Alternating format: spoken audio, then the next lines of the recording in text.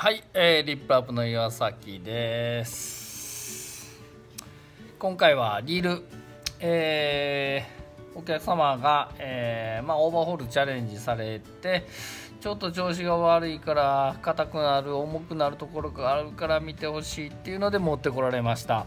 えー、まあ開けてみて原因はここのローラー、えー、ワンウェイとかねローラークラッチ系の、えー、ここのパーツシマノのこれは細かくてややこしいんです。今これ正常に戻したんですけど、え、ここでちょっと、えー、綺麗に入り込んでないっていう症状があって、え、重くなったっていうまあ、えー、高さも変わったりそういう、えー、ところのクリアランスでえー、ちょっと調子悪かったっていうことでございます。え今元に戻してチェックをかけたんですが、え、まあそれでなったのかちょっとわからないです最初からまあ使用でなったのかちょっとフィーリング的なものが、え、ノイズが出てるっていうところで、まあ、ベアリングなんかとかギアなんかもちょっと負荷がかかってるかもしれないっていうので、え、チェックしながら、えー、オーバーホールさせてもらいたいと思います。まあギアは高いんで、え交換するのもあんまりおすすめしてません。まあベアリングぐらいはね消耗品なんで、え交換するのをおすすめしてるんでまあこのお客さんも、えベアリング交換ぐらいして、えちょっと復活させたいなと思っております。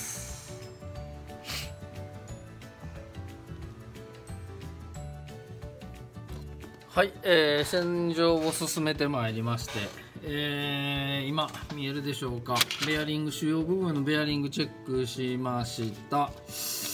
えーと大きいところね、えーとま、小さいところと中にこれぐらいのベアリングがこのリールには入ってるんですが、えー、正直、えー、やられ度合いとしてはどれもマシな段階です。ただノイズとして出てるのでひどい順に分けました。まあ ABC と、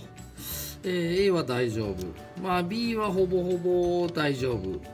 まあすっきり変えれたらベスト。C はどちらか言うと、えー、変えた方が、えー、見えるかな？見えてるよね。えー、変えた方がいいレベルっていうので分けました。多分この C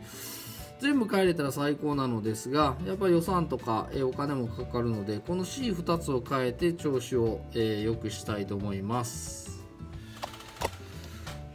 よいしょ。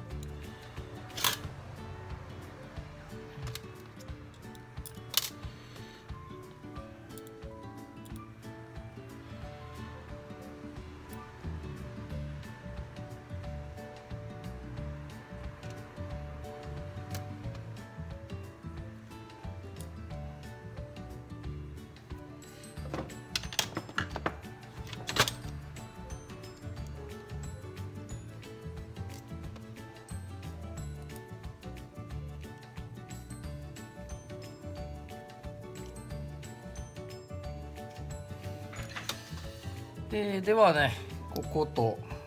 えー、ここですね。このベアリング2つが、えー、こことここの場所なので交換したいと思います。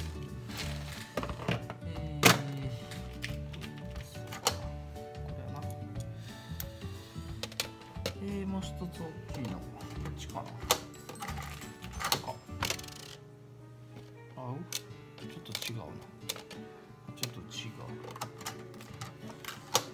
これかな。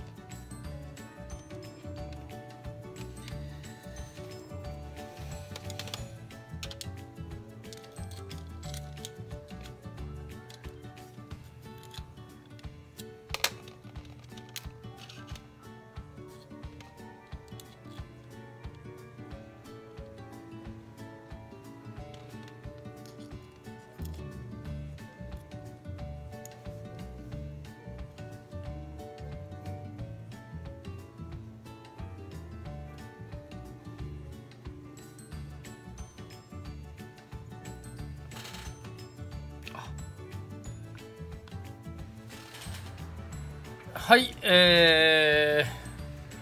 ー、組み上がりました。え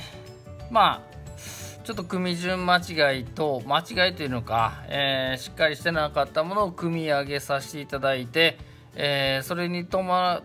てなったのかその前になったのかわからないベアリングのひどいもの、えー、本当はまあもうちょっと変えたかったんですけどベストなところですね。最低限のところを変えさせてもらいました、えー、パッキンも傷んでたので、えー、交換させてもらいました。これで、えチェックをしたところ、え非常にスムーズです、え